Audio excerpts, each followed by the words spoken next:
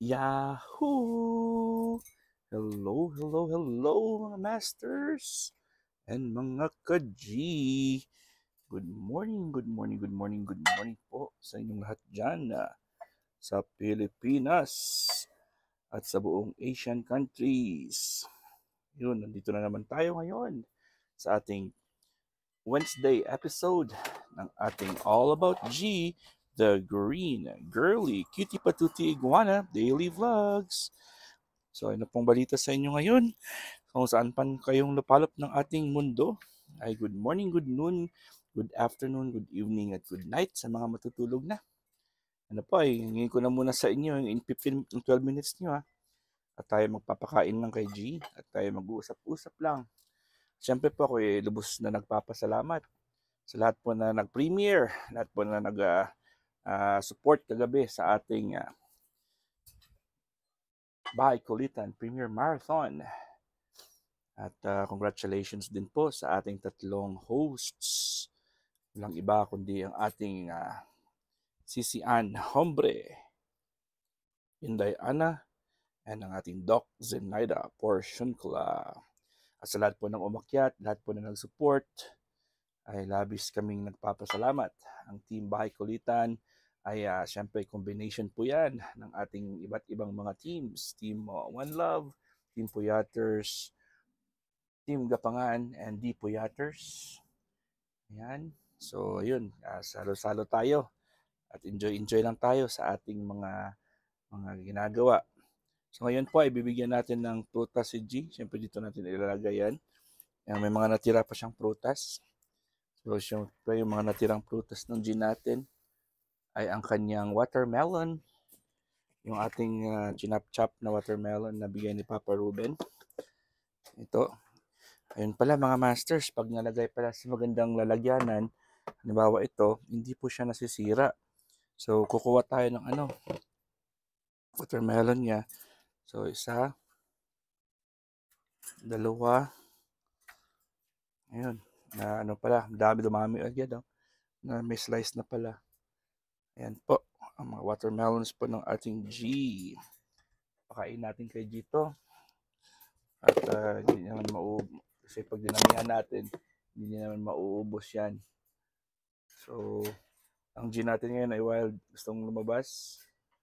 Kaya hindi natin siya pwedeng, hindi tayong kalmante ngayon. Nabuksan ang kanyang pintuan. Yan, so, yun po ay bukas din po yung ating uh, uh, main door, ating back door dito sa likod. Bukas po yan. Kaya hindi po natin si G pwedeng palabasin. So, chap-chapin lang natin. chap-chapin. I-cut-cut lang natin, ha? dice-dice lang natin para medyo pasok po sa kanyang bibig ang watermelon. Pero naman, wala tayo, wala si Jing kamay may eh, hindi niya magagamit, hindi niya ginagamit ng kamay niya sa pagkuha ng water ng pagkain. So necessary naka, nakasalala lang po siya sa kanyang bibig. Diba? Yan. So ilalagay natin ito ang kanyang watermelon. Siyempre dito lang po sa taas. At nakaabang na po ang G. Kaya mahirap po, nakatambay na po siya. Ay na po siya, nakatambay na po siya. Oh. At alam niya na po na, yun, tumalikod na siya. Doon tayo lalagay. Talikod na po ang gin natin. Siyempre lalagay natin ito mga masters so tinatanggal na hulog kanina. Yan ito na balita po sa inyong lahat dyan ngayon mga masters, mga ka-G? Yan na po? Yan, nakita na po ng G natin. Na may nilagay tayo sa taas kaya papaano lang natin si G. Gutom na gutom po yan mga masters, mga ka-G. Ayun, aakit na po yan. Ina, akit na G. Parang ayaw ni G kumain ngayon ng gulay. Kaya ngayon ay pinapakain po na siya natin ng prutas. Paubos na natin sa kanya yung prutas niya. Ayun na po. Akit na po yan. At sa pag-akit niya po ay naaamoy niya na Aamoy niyo na po yung kanyang prutas, ang kanyang watermelon. Ayan na po, at kakain na po ang G. Ayan na po. Tinitira niya yung kanyang bowl. Sobrang gutom, bowl ang kanyang tinitira. Grabe, di ba? Yun ang ating G ngayon. Bowl ang tinitira niya kanina. Yun, feel na feel niya talagang kumain ng kanyang uh, watermelons. At syempre, meron akong binili sa kanya na raspberries. Ayan, at huhugasan ko lang muna ang raspberries ni G natin. Dadalhin ko lang po ito sa kusina. Kukuha lang ako ng piraso lang. Ng piraso lang po. You know. Hugasan ko lang po ito. Kasi merong mga ano sa loob oh. Ayun naman oh. Gusto kong kunin yan. Yan, gustong gusto ni Gito. Kinakain niya to last time eh. Yan. So, kain-kain lang muna ang gin natin, mga masters. Kain-kain lang muna siya. Tingnan nyo lang muna. Hugasan ko lang po ang kanyang uh, berries. Habang po ay siya ay kumakain. At syempre, maraming maraming salamat po sa inyong lahat dyan. Sa lahat na nagsusupport ngayon sa ating All About G. Everyday po tayo nag All About G every 6 a.m. Philippine time. Kaya po ito puso talagang uh, nagpapasalamat dahil po sa inyo ay hindi po nasisiro yung ating uh, aking WH. WH natin, importante po yan mga masters. Kasi pag na bumaba yun, mawawala ang ating dollar sign. 'Di ba? So, yun po. Po ay hinugasan ko lang po. Nakalutong lang po yan sa tubig. Ayan po ang G natin. Kasi medyo kanina, nung binuksan ko po yung kanya pintuan, kinagat niya po ako. Nagtangka po siyang mga gat. Ayan po, oh. Nagtangka po siyang mga gat. Ayan, oh.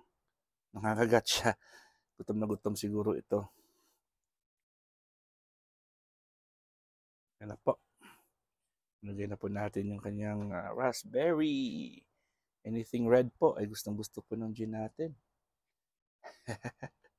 Raspberry lang pala yung katapat ng G natin, no? Mga masters, mga ka-G. Kaya ako uh, ah, binili ko na talaga kanina to. Kasi mas gusto niya po yung mga pulang kulay. Siyempre wala na po tayong kiwi. Raspberry at watermelon na lang po ang aking binigay sa kanya. Ayun, gustong gusto po ng gin natin. Nahihiya po siya, oh. Eh, pa, patago-tago na naman siya. Sabi niya, kinagat ko si daddy kanina. Kaya ako'y nahihiya. Iinom ng tubig ba? Umikot po siya sa kanyang bowl. Pasensya na mga masters at uh, medyo mahina yung boses ko. Kasi upon recording time po ay may uh, nanonood po ng TV ng aking daddy. Kaya hindi ako pwedeng umingay. Baliktad, no? Pinahinaan ko yung TV. Pero malakas ang boses ko. Kaya pinahinaan ko na lang siya. Yung, ano, ako yung boses ko yung pinahinaan ko. Ayan. So, ayun po yung ating ano kay G natin ngayon. Ay uh, very happy tayo ngayon dahil ito po yung kanyang uh, kinain. Siyempre mag-spray tayo ngayon. Sprayhan natin si G para ma maging humid na naman ang kanyang lugar. Yan, pababaan na muna natin ang kanyang uh, camera. Yan. Go, go, go lang tayo sa pag-spray sa kanyang bahay. Yun, know. Kainin mo muna, G. Finish your food first before I spray your body. Katingin po siya sa akin.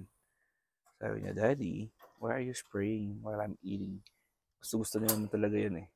Yung nagsuspray tayo na basa-basa po siya habang kumakain. Gustong gusto nung gin natin yan. Hmm.